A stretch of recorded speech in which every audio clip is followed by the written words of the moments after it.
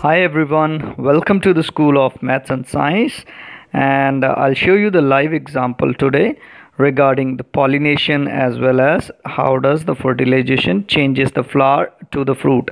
तो बेटा अभी देखना कि कैसे जो है बीज ट्रांसफ़र करते हैं पहले एंथर से स्टिग्मा को पॉलन ग्रेन्स सो उसके बाद वो जो फ्लावर है वो कन्वर्ट हो जाता है फ्रूट में। तो देखो, अभी बीज जो हैं, वो पॉलन ग्रेन्स ट्रांसफ़र कर रही हैं जो जो फ्लावर्स अभी हैं तो ये गुआवा का प्लांट है। तो गुआवा के प्लांट में ये बीज ने ट्रांसफ़र किया। अब सेंटर वाला जो है मिडल पार्ट फ्लावर का, देखो, उसमें स्टिग्मा है, ठीक है?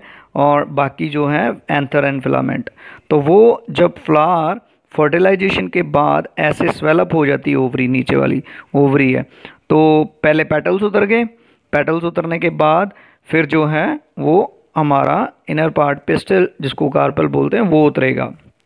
वो उतरने के बाद बेटा जो है लास्ट में इसके जो है सेपल्स भी उतर जाते हैं। जब सेपल्स उतर जाएँगे then the ovary will swell up more और वो जो ओवरी है that will convert into fruit